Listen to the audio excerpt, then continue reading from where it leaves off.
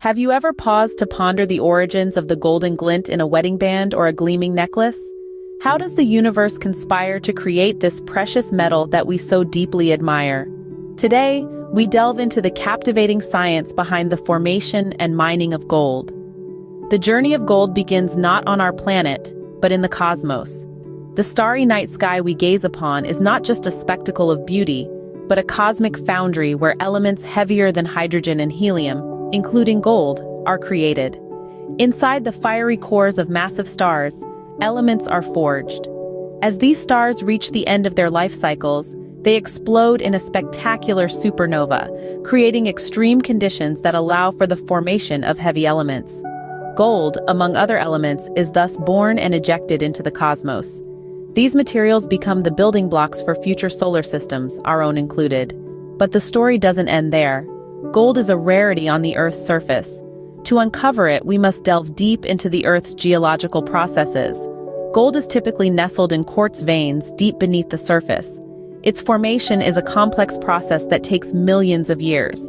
Hydrothermal fluids, heated by the Earth's internal processes, carry minerals, including gold, towards the surface. The gold precipitates out of these fluids under specific conditions, such as changes in temperature and pressure.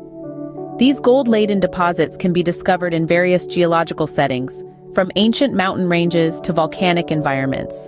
Once these gold deposits are located, the challenge becomes how to extract this precious metal. Various mining techniques are employed to achieve this. Placer mining uses water to separate gold particles from sand and gravel. Tools like gold pans, sluice boxes, and dredges are employed to extract gold from riverbeds and alluvial deposits. For gold deposits located deep underground, miners employ underground mining, using tunneling and drilling to access the ore. For large, near-surface gold deposits, open-pit mining is used.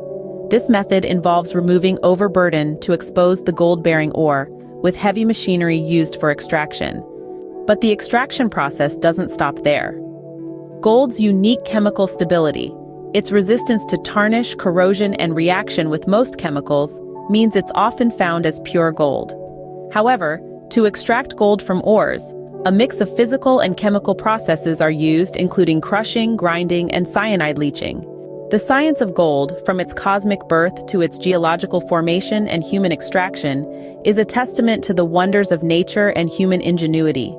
It tells us of the intricate, multi-billion year journey this precious metal takes from the heart of a dying star to a piece of jewelry. It's a journey that underscores the preciousness of gold, a metal that's not just a symbol of wealth and beauty, but also a marvel of science.